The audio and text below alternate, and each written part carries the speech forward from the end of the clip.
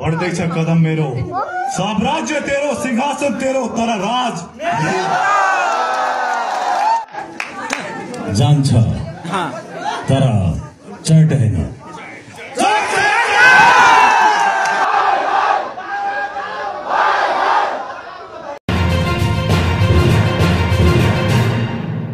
यही असोज चौबिस गते रिलिज भएको बाह्र गाउँ आज पाँचौँ दिन सोमबार पनि मर्निङ सोदेखि नै देशव्यापी रूपमा हाउसफुलको बक्स अफिस कलेक्सन गरिरहेको छ र बक्स अफिस कलेक्सनमा तहल्कै मचिरहेको छ। आज हामी यही कुराको बारेमा चर्चा गर्न गरेका छौँ। साथमा पछिल्लो समय विराज भट्ट र समीर भट्टले हल भिजिटको क्रममा फ्यानहरूको अगाडि बोलेको डायलगहरू सामाजिक सञ्जाल टिकटकमा एकदमै धेरै भाइरल भइरहेको छ। आज हामी यो कुराको बारेमा नि चर्चा गर्न गएका छौँ। भिडियोलाई पुरा हेरिदिनुहोला र हाम्रो च्यानललाई सब्सक्राइब गर्न भने नभुल्नुहोला। यतिखेर चर्चा छ त बाह्र गाउँ चलचित्रको बारेमा बाह्र गाउँ चलचित्र रिलिज भएको आजबाट पाँच दिन भएको छ र पाँच दिनसम्म आइपुग्दाखेरि यो चलचित्रले अहिलेसम्म रिलिज भएका सबै फिल्मको रेकर्डलाई ब्रेक गरिदिइसकेको छ। र बाह्र गाउँ चलचित्रको चर्चा यति धेरै भइरहेको छ कि यतिखेर बाह्र गाउँ चलचित्रको चर्चा नेपालको कुन्ना कुनामा भइरहेको छ र दिनहुँ दर्शकहरू फिल्म हेर्नको लागि हल हलमा ओहिरिरहेका छन्। बाह्र गाउँ चलचित्रको हल सङ्ख्या र सो सङ्ख्या एकदमै धेरै बढिसकेको छ। तर पनि अझै पनि दर्शकहरूलाई बाह्र गाउँ चलचित्रको टिकट पाउनको लागि हम्बे हम्बे रहेको छ। धेरै दर्शकहरू बाह्र गाउँ चलचित्रको टिकट नपाएर घर फर्कन परेको भनेर गुनासो पनि व्यक्त गरिरहेका छन्।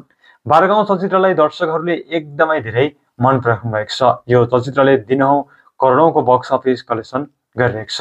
बाह्र गाउँ चलचित्रले नेपालमा मात्र नभएर नेपाल बाहिर पनि तहल्का मचिरहेको छ। नेपाल बाहिर पनि यो चलचित्र केही देशमा रिलिज भएको छ र जुन जुन देशमा रिलिज भएको छ त्यो त्यो देशमा यो चलचित्रले अहिलेसम्मकै तहल्का मचिरहेको छ। र पछिल्लो समय थुप्रै देशमा यो चलचित्रको डिमान्ड वात्तै बढेको छ। र अबको केही दिनमा नै बाह्रगाउँ चलचित्र जापानमा पनि रिलिज हुँदैछ। जापानमा यो चलचित्रको डिमान्ड एकदमै धेरै देखिएको छ। जापानमा बाह्रगाउँ चलचित्रले अहिलेसम्मकै सबै रेकर्डलाई ब्रेक गरिदिने देखिरहेको छ। अरू थुप्रै देशमा पनि यो चलचित्रको डिमान्ड बढिरहेको छ। अब थुप्रै देशमा यो चलचित्र चाँडै नै रिलिज हुने क्रममा रहेको छ। पछिल्लो समय बाह्र गाउँ चलचित्रको चर्चा बलिउडमा पनि भइरहेको छ। भोलिको दिनमा यो चलचित्र हिन्दी डब भएर बलिउडमा पनि रिलिज हुन सक्ने सम्भावना देखिरहेको छ। बाह्र गाउँ चलचित्र यही असो चौबिस गते रिलिज भएको हो र आजबाट यो चलचित्रले बक्स अफिस कलेक्सनमा पाँच दिन पार गर्दैछ र आज पनि यो चलचित्रले मर्निङ सोदेखि नै बक्स अफिस कलेक्सनमा तहल्का मचाउँदै देशव्यापी रूपमा हाउसफुलको बक्स अफिस कलेक्सन गरिरहेको छ। फिल्मलाई दर्शकले अत्याधिक रूपमा मन पराउनु भएको छ। यो फिल्मलाई विराज भट्टले डाइरेक्सन गरेका हुन् भने निर्माण पनि विराज भट्टले नै गरेका छन्। यो चलचित्रमा विराज भट्ट सनिसा भट्टराई समीर भट्ट लगायत थुप्रै कलाकारहरूलाई मुख्य भूमिकामा देख्न सक्छौँ। फिल्म रिलिज भइसकेपछि यतिखेर समीर भट्टको चर्चाले शिखर छोइरहेको छ। समीर भट्टको एक्सन डान्स बडी हाइटलाई दर्शकहरूले अत्याधिक रूपमा मन पराउनु भएको छ।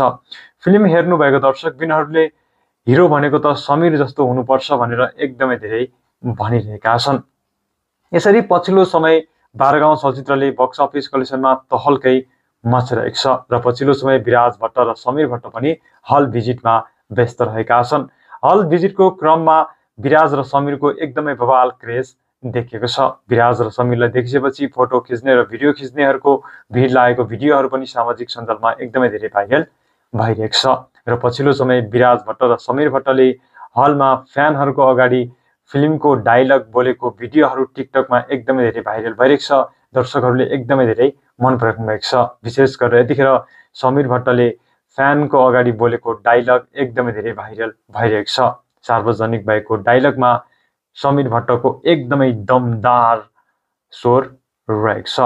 हस् त्यति भन्दै म बिदा हुन चाहन्छु। यतिखेर बाह्र गाउँ चलचित्रले इतिहास रचिरहेको छ। हजुरहरूले अहिलेसम्म पनि बाह्रगाउँ चलचित्र हेर्नुभएको छ भने आफ्नो नजिकको हलमा गएर हेर्न भने नभुल्नुहोला हेरिसक्नु भएको छ भने फिल्म कस्तो लागेको छ तर कमेन्ट बक्समा हामीले कमेन्ट गर्नु भने नभुल्नुहोला। हाम्रो युट्युब च्यानललाई हेर्दै गर्नुहोला। हस्त धन्यवाद।